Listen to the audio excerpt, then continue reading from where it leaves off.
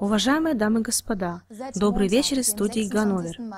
В понедельник, 26 мая, в Восточной Украине пропало четыре наблюдателя ОБСЕ, нейтральной организации по безопасности и сотрудничеству в Европе.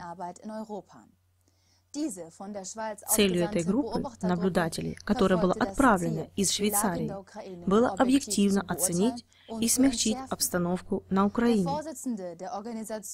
Председатель Организации по безопасности и сотрудничеству в Европе Дидье Бургхальтер требует немедленного освобождения наблюдателей ОБСЕ в Восточной Украине. Кому обращено требование Бургхальтера, точно не сообщается. Президент Швейцарской конфедерации назвал задержание наблюдателей актом саботажа. Кто эти саботажники, также не уточняется.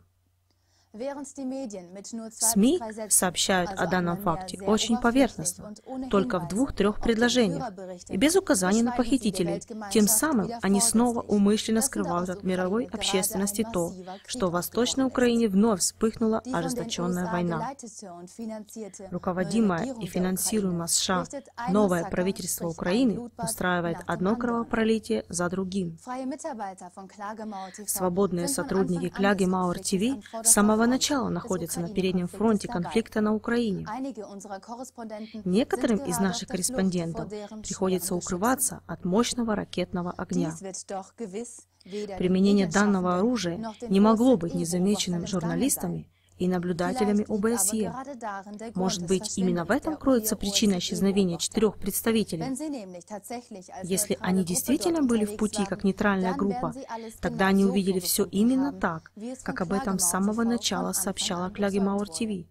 И это, между прочим, могло стать для них жизненно опасной миссией. От начала боев на Майдане Кляги Маур ТВ показывала, как преступные террористические соединения под защитой американских подстрекателей устроили государственный переворот на Украине. Многочисленные очевидцы с места событий указывали на беспрестанную ложь и искаженные сообщения ведущих СМИ.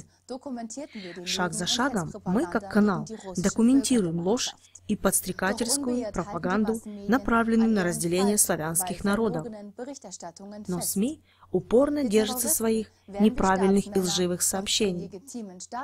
С террористами обращаются как с государственными деятелями, а с законными государственными деятелями как с террористами.